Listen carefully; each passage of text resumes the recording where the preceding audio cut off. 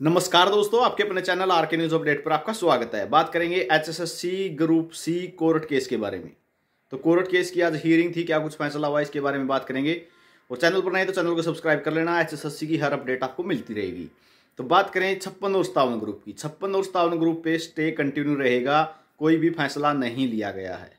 ना छप्पन को कैंसिल करने का फैसला हुआ है, अभी इन पर स्टे रहेगा। बात करें अदर ग्रुप की तो अदर ग्रुप की सभी की परमिशन मिल गई है। जनवरी के फ़र्स्ट वीक से ही एग्ज़ाम होने की सौ परसेंट संभावनाएँ रहेंगी, क्योंकि सरकारी स्कूलों की हो जाएँगी छुट्टियाँ। और सरकार अगर ये चाहती तो पहले भी कर सकती थी, लेकिन वही बात है इलेक्शन का दौर भी लेके आना है। ग्रुप डी का रिज़ल्ट प्रोविजनल आ सकता है, लेकिन ग्रुप डी का जो फाइनल रिज़ल्ट है, वो थोड़ा लेट जानबूझ के किया जा सकता है, क्योंकि पहले ग्रुप सी की जो है कोशिश रहेगी ज्वाइनिंग कराने की।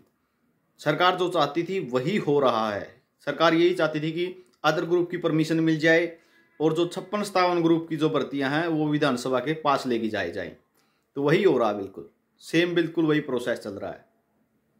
सभी को निन्यानवे परसेंट लोगों को पता था कि आज फैसला हो जाएगा।